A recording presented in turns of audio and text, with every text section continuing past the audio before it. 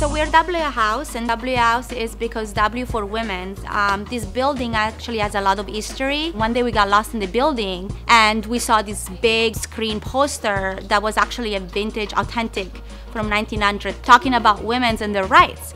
So I researched and actually discovered that this was a building for women's at the time. It was a women association house where artists and all kind of women would come here and be together and protest against all the things that they didn't like about society at the time. We are all women as a matter of fact. It's run by me and Oretta. She does all the digital content and styling and I do all the designing. We collaborate with a lot of brands and people and that's how it is. We're pretty much all women. So not to be discriminative. So some of the cool pieces we made are actually this deconstructed bomber, um, which is really fun. It's inspired by an old parachute um, jacket and it's lined with silk. It has indigo rib and some rayon.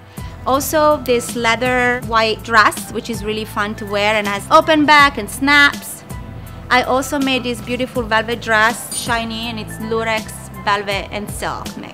It's been an experience. I have learned so much. I get to work with the creative directors. We get to do capsule collections. It's amazing. The whole company in general is is great. So I think it's gonna do great in the future. It's nighttime here, and we're still working. Uh, we have a collection we have to finish ASAP before you know the vacations, and so we're working like night and day on that.